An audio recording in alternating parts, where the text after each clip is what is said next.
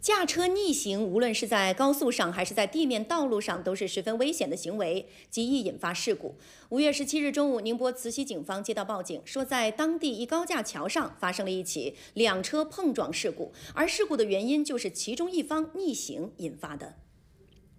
画面中，我们可以看到这辆黑色轿车正在高架上逆行，迎面撞上了正常行驶的一辆红色轿车。两车相撞后，车头面目全非，安全气囊全部弹出。所幸双方驾驶员并无生命危险。经现场询问才知道，车头朝南的那个女驾驶员了，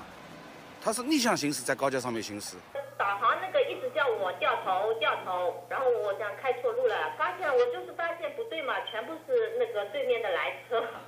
刘某说自己当时发现对向有车辆驶来时，已经来不及刹车了，而红色轿车驾驶员也没有想到会有车辆在高架上逆行，结果避让不及撞上了，车尾还被撞得发生了九十度的漂移。而对于逆行上高架的原因，刘某是这样解释的：从来没开过，我我一般我那个磁吸都。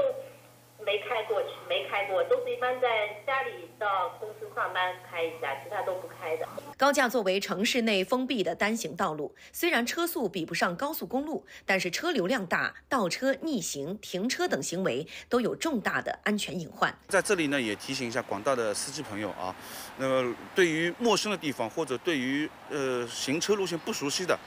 呃，首先要要这个提前规划好一个行车路线，